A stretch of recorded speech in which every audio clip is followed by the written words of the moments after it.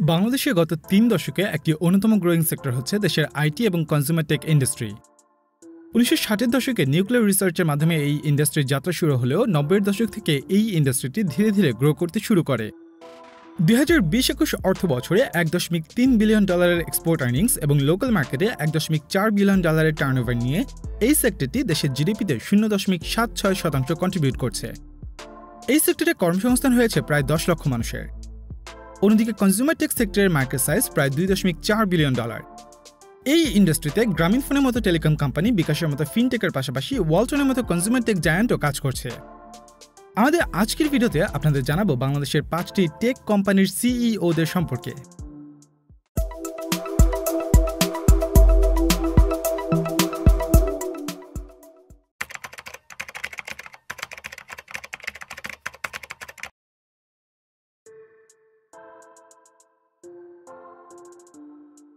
বাংলাদেশের take based বা IT সেক্টরের শীর্ষস্থানীয় প্রতিষ্ঠানগুলো নিয়ে কথা বলতে গেলেই internet service provider Carnival internet logistic company e courier e learning বা এডটেক প্ল্যাটফর্ম ঘুরি লার্নিং এর কথা চলে আসবে। যদিও অনেকেই হয়তো জানে না, এই তিনটি প্রতিষ্ঠানই মূলত ডটলাইন্সের সাবসিডিয়ারি ইনফ্যাক্ট দশটিরও বেশি ভিন্ন ভিন্ন ভার্টিক্যালের ডটলাইন্সের বিশটিরও বেশি টেক বেসড প্রতিষ্ঠান রয়েছে। আর ডাইভার্স এই প্রতিষ্ঠানটির প্রতিষ্ঠাতা এবং chairman Matin Mahbubul university of হংকংয়ে পড়াশোনার পাশাপাশি আইবিএ থেকে এমবিএ দিল্লি ইউনিভার্সিটি থেকে ইকোনমিক্স এবং London school of economics and political science থেকে পড়াশোনা শেষে কর্মজীবন শুরু করেন একজন ইনভেস্টমেন্ট ব্যাংকার হিসেবে। তার অন্টারপ্রেনারিয়াল জার্নি শুরু হয় দু হাজার পাঁচ সালে system solution and development technologies limited বা এসএসডি টেক প্রতিষ্ঠার মাধ্যমে। ডটল্যান্সের ভেঞ্চারগুলো বেশ ডাইভার্স হলেও আদতে প্রতিটি ভেঞ্চারই একটি আরেকটির সাথে ইন্টারকানেক্টেড একটি ইকোসিস্টেম যেমন দেশে ডটলাইনেরই সাবসিডারি কার্নিভাল ইন্টারনেট এক লাখ চল্লিশ হাজারের বেশি পরিবারকে ইন্টারনেট সেবা দেওয়ার পাশাপাশি দেশের বিভিন্ন রুরাল এরিয়াতে কার্নিভাল ওয়াইফাই হাটের মাধ্যমে সাড়ে পাঁচ লাখেরও বেশি স্মার্টফোন ইউজারকে ইন্টারনেটের সাথে কানেক্ট করেছে। আবার ডটল্যান্সের আরেক ভেঞ্চার আডুরা এশিয়ার প্রথম ডিআইওয়াই ইন্টারনেট সিকিউরিটি সলিউশন এদিকে ইন্টারনেট ব্যবহার করে মানুষ যেন স্কিল ডেভেলপ করতে পারে, সেজন্য আছে Ghoori learning online to offline logistic সেবা e courier payment service easy pay Payway Foster payments এবং সহজের মতো ভেঞ্চার এছাড়া বাংলাদেশে ইন্স্যুরেন্স এবং মাইক্রো ফাইন্যান্সকে ডিজিটালাইজ করতে কার্নিভাল অ্যাশোর এবং লাইফস্টাইল সেগমেন্টে আছে বাংলা কাটের মতো ভেঞ্চার বাংলাদেশ ছাড়াও ডটল্যান্সের বেশ কয়েকটি venture Singapore Malaysia Indonesia India এবং মায়ানমারে বিজনেস অপারেট করছে।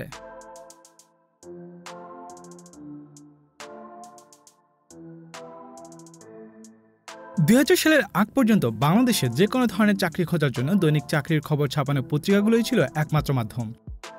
যদিও ততদিনে বিশ্বের অনেক দেশে অনলাইনে জব খোঁজার সাইট বেশ অ্যাভেলেবল হয়ে উঠেছিল।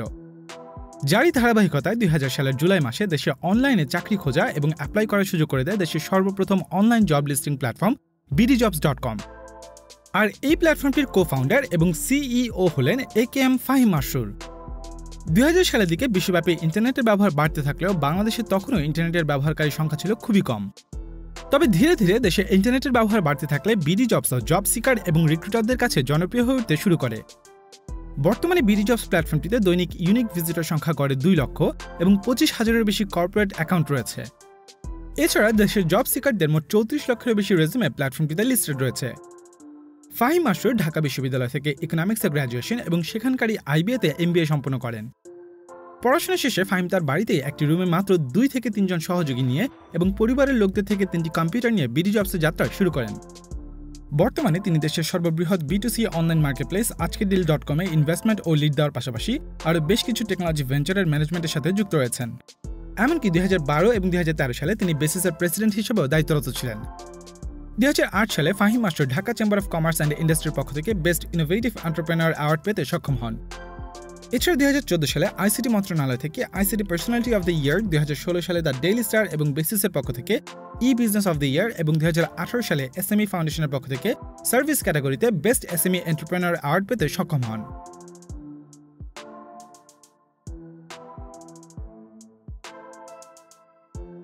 গ্রামীণ ফোন, প্রায় ছেচল্লিশ শতাংশ বা প্রায় সাড়ে আট কোটি গ্রাহক নিয়ে বাংলাদেশের শীর্ষ মোবাইল নেটওয়ার্ক অপারেটর। উনিশশো সাতানব্বই সালে কার্যক্রম শুরু করা প্রতিষ্ঠানটি মূলত নরওয়ে টেলিনর গ্রুপের একটি সাবসিডিয়ারি প্রতিষ্ঠার পর থেকে এই মাল্টিন্যাশনাল কোম্পানিটি বাংলাদেশের মানুষের জন্য উন্নত টেলিকমিউনিকেশন সেবা নিশ্চিত করতে যুগোপযোগী টেকনোলজির পাশাপাশি নতুন নতুন সার্ভিস ইন্ট্রোডিউস করে গিয়েছে। প্রতিষ্ঠানটির বর্তমান সিইও ইয়াসির আজমান কোম্পানিটির যাত্রা শুরু থেকে এ পর্যন্ত সময়কালে প্রথম বাংলাদেশি সিইও শিক্ষা জীবনে তিনি ঢাকা বিশ্ববিদ্যালয়ের ইনস্টিটিউট অফ বিজনেস অ্যাডমিনিস্ট্রেশন থেকে এমবিএ সম্পন্ন করেন এবং লন্ডন বিজনেস স্কুল ও ফ্রান্সের আইএনএসসিএডিতে বিভিন্ন এক্সিকিউটিভ এডুকেশনাল প্রোগ্রামে অংশগ্রহণ করেছেন। গ্রামীণ ফোনে ইয়াসির আজমানের ক্যারিয়ার শুরু হয় দুই হাজার নয় সালে সেলস ও ডিস্ট্রিবিউশন ডিরেক্টর হিসেবে। উক্ত পদে তিনি গ্রামীণ ফোনের সেলস ও ডিস্ট্রিবিউশন উইংটি স্থাপন এবং এক্সিস্টিং ডিস্ট্রিবিউশন অবকাঠামোতে পরিবর্তন নিয়ে কাজ করেন। যার ধারাবাহিকতায় দুই থেকে দুই হাজার তেরো সাল পর্যন্ত ইয়াসির আজমান গ্রামীণ ফোনের প্যারেন্ট কোম্পানি টেলিনরের ইন্ডিয়া অপারেশনের ওড়িশা এবং কর্ণাটকের ইভিপি ও সার্কেল বিজনেস হেড হিসেবে দায়িত্ব পালন করেন। এছাড়াও তিনি দুই হাজার তেরো থেকে দুই হাজার পনেরো সাল পর্যন্ত কোম্পানিটির ডিস্ট্রিবিউশন ও ই বিজনেসের গ্রুপ হেড ও ভাইস প্রেসিডেন্টের দায়িত্ব পালনের পর দুই হাজার পনেরো সালের জুন মাসে বাংলাদেশে গ্রামীণ ফোনের চিফ মার্কেটিং অফিসার হিসেবে পুনরায় জয়েন করেন। এর পাশাপাশি দুই হাজার সতেরো সাল থেকে তিনি ডেপুটি সিইও হিসেবে মাইকেল ফলোকেও সার্ভ করে গিয়েছেন। এবং দুই হাজার বিশ সালের ফেব্রুয়ারি মাসে কোম্পানিটির সিইও পদে নিযুক্ত হন। তার নেতৃত্বে প্রতিষ্ঠানটি বর্তমানে দেশের পঁচানব্বই শতাংশের বেশি অঞ্চল থ্রি এবং প্রায় সাতানব্বই শতাংশ অঞ্চল ফোর কাভারেজের আওতায় আনতে সক্ষম হয়েছে।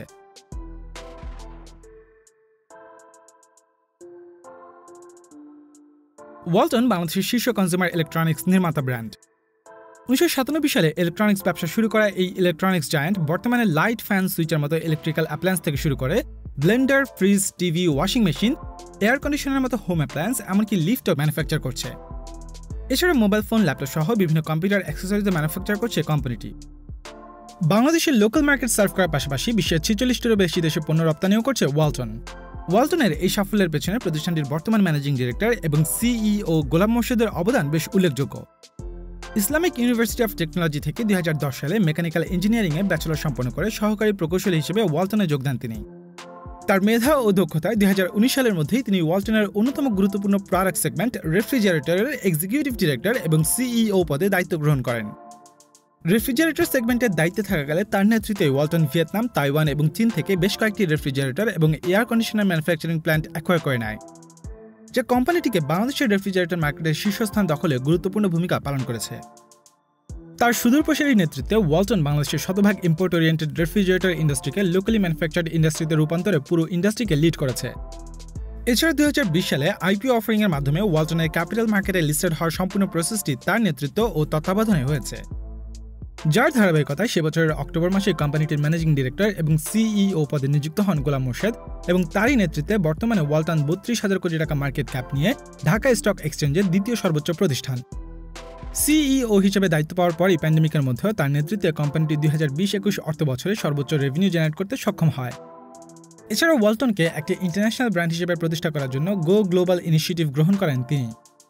এরই ধারাবাহিকতায় তিনি ইউএসএর টেক্সাসে এবং সাউথ কোরিয়ায় ওয়ালটনের রিসার্চ অ্যান্ড ইনোভেশন সেন্টার স্থাপনের পাশাপাশি তিনটি বিখ্যাত European electronics brand ACC VOE এবং জেডিএমকে অ্যাকোয়ার করে নেয়। এছাড়া দু হাজার বাইশ সালে ওয়ালটন বাংলাদেশের ইলেকট্রনিক্স ইন্ডাস্ট্রিতে হাইয়েস্ট এক্সপোর্টিং কোম্পানি হওয়ার পাশাপাশি ন্যাশনাল জিওগ্রাফিক চ্যানেলের সুপার ফ্যাক্টরি এবং সিএনএন এর মেড ইন বাংলাদেশ ক্যাম্পেইনেও ফিচার হয়। গোলাম মুর্শিদের লিডারশিপে ওয়ালটন টেকনোলজি প্রোডাক্টের ইনোভেশনের মাধ্যমে দুই হাজার ত্রিশ সালের মধ্যে বিশ্বের অন্যতম শীর্ষ ব্র্যান্ড হিসেবে প্রতিষ্ঠা করার লক্ষ্যে কাজ করে যাচ্ছে।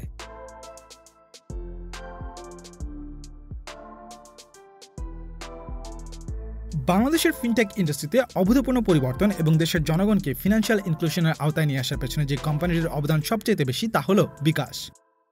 আর বিকাশের প্রতিষ্ঠাতা এবং সিইও হলেন কামাল কাদের।